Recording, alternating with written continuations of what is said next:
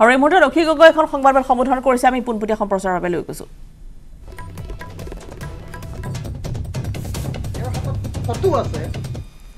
আৰু এই কথাৰ কাৰণে এই ঘটনাৰ সত্যাসত্য বিচাৰ কৰিবৰ কাৰণে অখিল গগৈক অৰ্থাৎ মোক তেওঁ প্ৰত্যাহ্বান জনাই লাই ডিটেক্টৰৰ সন্মুখীন হ'বৰ কাৰণে আহ্বান জনাইছিল। মই সেই প্ৰত্যাহ্বান গ্ৰহণ কৰিছিলো। আৰু সেই প্ৰত্যাহ্বান গ্ৰহণ কৰি কৈছিলো যে আজি অৰ্থাৎ চাৰি এপ্ৰিল তাৰিখৰ ৰাতি ন বজাৰ ভিতৰত লাই ডিটেক্টৰৰ ব্যৱস্থা তেওঁ কৰিব লাগিব আৰু মই সেই লাই ডিটেক্টৰৰ সন্মুখীন হ'বৰ কাৰণে সাজু হৈ আছো। একেটা সময়তে সেই সাক্ষাৎকাৰটোত মই সাক্ষাৎ গ্ৰহণকাৰী প্ৰতিদিন টাইমৰ মুখ্য সম্পাদক ডাঙৰীয়াক কৈছিলো যে চাৰি এপ্ৰিল তাৰিখৰ ৰাতিপুৱা দহ বজাৰ পৰা এঘাৰ বজাৰ ভিতৰত মোক খাটাং সিদ্ধান্ত জনাব লাগিব। কাৰণ মই উজনি অসমত থাকিম আৰু আজি আজি দিনৰ দহ বজাৰ পৰা এঘাৰ বজাৰ ভিতৰত মোক খাটাং সিদ্ধান্ত জনাব লাগিব। আৰু ৰাতিপুৱা দহ বজাৰ পৰা এঘাৰ বজাৰ ভিতৰত যদি এই সিদ্ধান্ত জনাই মই উজনি অসমৰ পৰা ঘূৰি গৈ ৰাতি আঠ বজাত লাই ডিটেক্টৰৰ ডিটেক্টৰৰ সন্মুখীন হ'ম।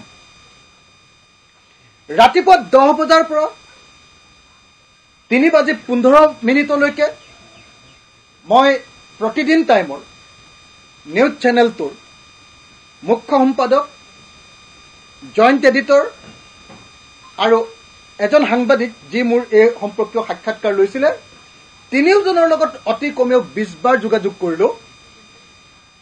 আৰু সৰ্বশেষত মোক জনালে যে আজি তেনেকুৱা কোনো লাই ডিটেক্টৰৰ ব্যৱস্থা গ্ৰহণ কৰা গ্ৰ- গ্ৰহণ কৰিব নোৱাৰিলে বিতৰ্কিত বিধায়কজনে।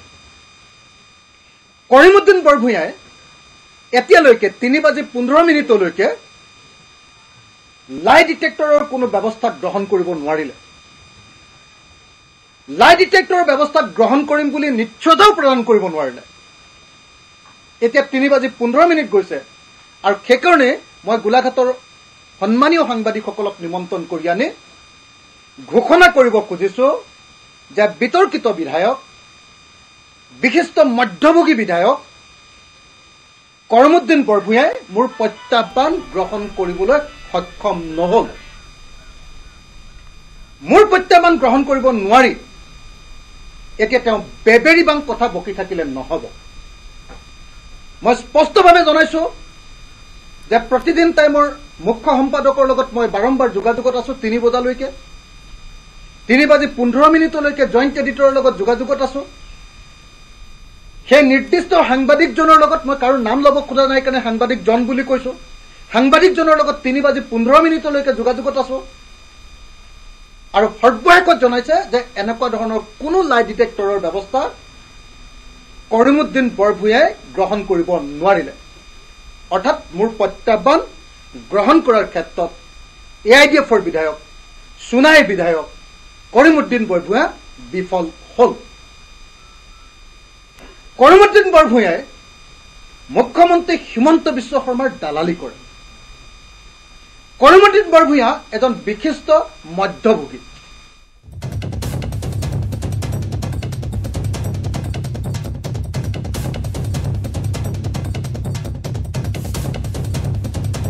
শিৱসাগৰ বিধায়ক অখিল গগৈৰ সংবাদমেলৰ পোনপটীয়া সম্প্ৰচাৰ